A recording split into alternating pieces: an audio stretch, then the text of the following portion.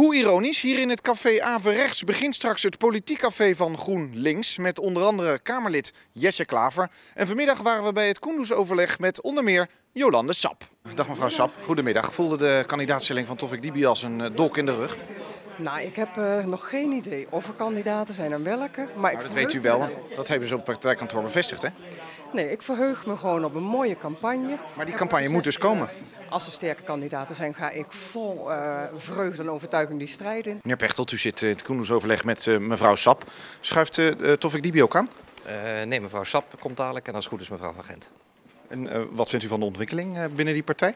Uh, ik laat mij nooit uit over personeelsbeleid van andere partijen. U zat eigenlijk net even lekker in het zadel met het uh, akkoord En ja, dan krijgt u nu toch... Ja, ik vind het, het zijn toch, het zijn toch dolken in uw rug. Nee, ik zit nog steeds heerlijk in het zadel. Ik ga dadelijk ook mooi uh, overleggen over de verdere uitwerking. Ik kan mooi weer blijven spelen, maar dat moet toch niet prettig voelen als leider? Ja, ik ben een persoon die ook gewoon wel houdt van een beetje strijd. Daar word ik sterker van. Meneer De Jager, wenst u Tofik Dibi ook veel succes in de strijd uh, tegen Jolanda Sap? Nou, u, u zult begrijpen dat dat een interne uh, aangelegenheid is van GroenLinks. Dat laat ik ook graag daar. Het is toch een leuk ventje, vindt u ook? Ik, ik laat het graag aan GroenLinks wat zij doen. Hoe ga je als campagneleider wat jij bent nu te werk? Want je hebt geen leider op dit moment waarvan je weet van die wordt het. En dat duurt nog tot 31 mei, dat is toch heel lang? Nou ja, uh, ik, ik, weet, uh, uh, ik weet nu niet wie, wie de leider gaat worden. Dat, nee. was, dat, was, dat, was, dat is helemaal niet nieuw. Dat wist ik voordat ik deze klus aannam. Nou, dat is niet waar, want je denkt toch wel van Jolande Sap blijft het. Nou ja, uiteindelijk beslist bij GroenLinks altijd, altijd de leden. Tofik Dibi, is die te jong of zou die het wel kunnen, denkt u? Ik denk dat hij ook heel veel kan. Alleen soms moet je op het juiste moment op de juiste plek zijn. En, en dan weet je allemaal niet van tevoren hoe dat loopt. Dat kan op hele gekke manieren lopen. Is dit uw laatste klus?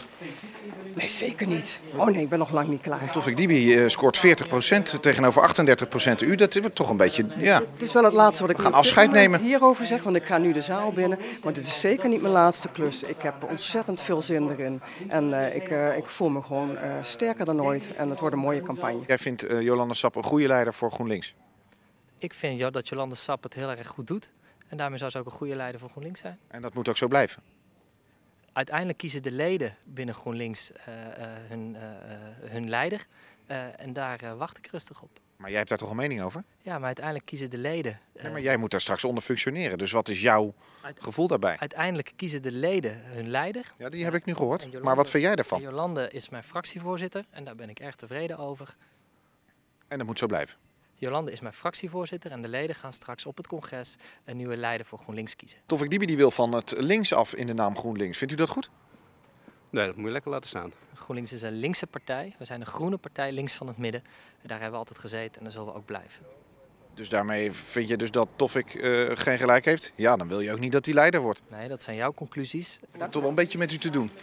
Het is niet nodig hoor. Ik vind het wel lief dat je dat uh, vindt. Want sympathie is altijd prettig, maar dat is echt niet nodig. Sterkte? Dankjewel.